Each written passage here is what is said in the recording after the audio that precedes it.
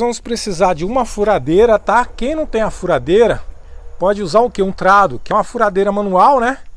Ou então pode estar fazendo também com facão, algum objeto de corte aí, né?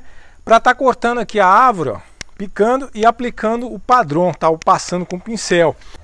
Os furos, pessoal, é bom fazer sempre na, na no declive, né? Descendo, por quê? Para facilitar, para encher de veneno, né? No caso do padrão e deixar a árvore dissolvendo esse veneno lado, tá absorvendo, né? Então você faz a perfuração sempre assim, ó, sempre caindo, tá?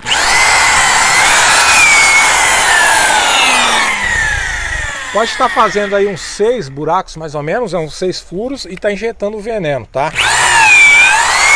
Fazendo aqui os seis furos, no caso aqui eu fiz seis, tá? Pode ser até menos, quatro furos também que funciona. Então fiz os furos aqui sempre no declive, na descida, né? Agora o que eu vou fazer? Eu vou usar aqui, ó, esse pulverizador aqui, coloco a mangueira e injeto aqui o, o herbicida, tá? No caso aqui o padrão, tá? Eu coloquei o padrão puro. Então coloco o padrão